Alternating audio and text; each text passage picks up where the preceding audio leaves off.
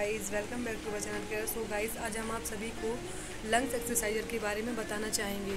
उनका ऑपरेशन हो चुका है तो ऑपरेशन के बाद डॉक्टर ने 21 दिन वाले तीन कीमो और लिखे। तो हम लोगों ने आज जो कीमो है, वो तीन लिखे थे डॉक्टर ने। तो हम लोगों ने पहला कीमो बम्बई के टाटा मेमोरियल हॉस्पिटल में ही चढ़वा लिया था अपने पेशेंट को। हमारा जो पेशेंट है, उसका ऑपरेशन हो चुका है। ऑपरेशन जो हुआ है, वो बम्बई के टाटा मेमोरियल हॉस्पिटल के खारघर में हुआ है। पहले डॉक्टर ने चार कीमो बोले थे और ऑपरेशन के बाद डॉक्टर ने तीन कीमो और बोले हैं।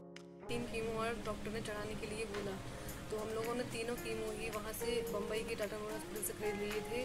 तो सर्जरी के बाद का फ़र्स्ट कीमो हम लोगों ने बम्बई में ही लगवाया ताकि सर्जरी के बाद कोई साइड इफ़ेक्ट ना हो। कोई परेशानी ना आए।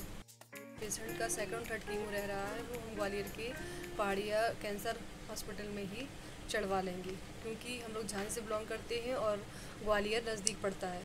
आज आप सभी को लंग्स एक्सरसाइजर के बारे में बताएँ बताना चाहेंगे, क्योंकि जो ऑपरेशन के बाद हमारे पेशेंट के लिए डॉक्टर ने ये ऐसा लंग्स एक्सरसाइजर मेडिकल स्टोर से ख़रीदने के लिए बोला था। तो हम लोग बम्बई के मेडिकल स्टोर से इसको ख़रीद कर लेकर आए हैं। तो ये इस टाइप का होता है।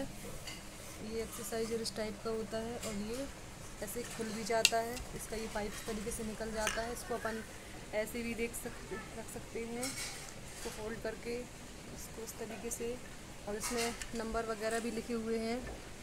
तो देखिए गाइस लिखा है इसमें सबसे नीचे पाँच सौ, हज़ार पंद्रह सौ दो हज़ार, पच्चीस सौ, तीन हज़ार, पैंतीस सौ, चार हज़ार, पैंतालीस सौ, पाँच हज़ार।